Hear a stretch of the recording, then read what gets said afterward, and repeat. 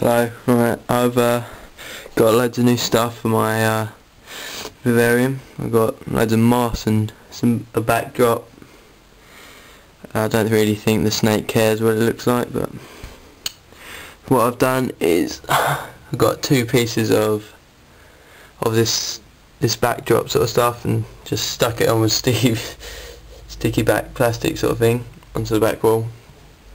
And then I've got loads of of moss where you you have to soak it in in a bit of water first so just just put bits everywhere randomly. You can use this moss like you could, whenever you clean your your vivarium out you can use it about three times just wash it every time. And then so I've got that in. Then Right now I put put the the rock cave with the plant behind it then I've got a vine which comes down with another piece of wood which comes down with the water bowl some more some more plants. Just gotta put I just have to put one one piece of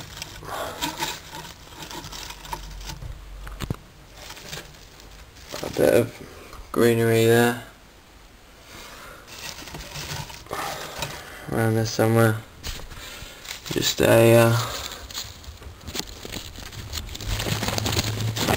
a bit of greenery. Add that. Put it on the put it on the vine.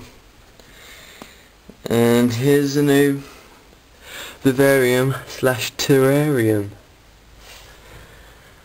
See, it's really nice now. With everything done, the doors in, cave and the rest of the the stuff. With the rest of the stuff in we can go and get the royal python which is in this box. Empty shelter. Oh there he is. Hello mate. Hello mister. Alright see if he likes his new home Go on, mate. You gonna go in your little hide? Get you there. See where he goes. No, no, out here. Not back. Back in. Get back in your cage. Go on. There he goes. To his cave. You can fit in there and uh, snuggle up warmly in there. So there it is my uh, new setup. Go on, get, it, get in. There you go.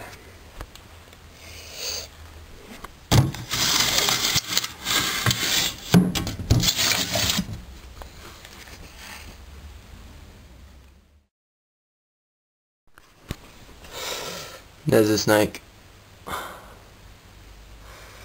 He actually climbed right up to the top and stayed there. I don't, don't think he likes his new habitat. He'll get used to it. Looks a lot nicer anyway. I might put oh I might put some some moss or something inside the cave so it's a bit nicer on his on his belly. Sprayed the cage as well. So uh, keeps the humidity levels up. There we have it